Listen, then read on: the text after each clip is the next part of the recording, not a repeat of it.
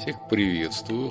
Продолжаем знакомиться с главами книги «Библия в иллюстрациях», «Гравюра на дереве» Юлиуса Шнор фон Карльсфельда с библейскими текстами по синодальному переводу. Конец предателя Иуды Искариота. Тогда Иуда, предавший его, увидев, что он осужден, и, раскаявшись, возвратил тридцать серебряников первосвященникам и старейшинам, говоря, «Согрешил я, предав кровь невинную». Они же сказали ему, «А что нам до того? Смотри сам». И, бросив серебряники в храме, он вышел, пошел и удавился.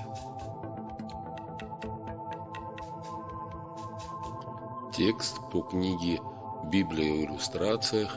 Гравюры на дереве» Юлиуса Шнор фон Каральсфельда с библейскими текстами по синодальному переводу. Пока, пока, до свидания.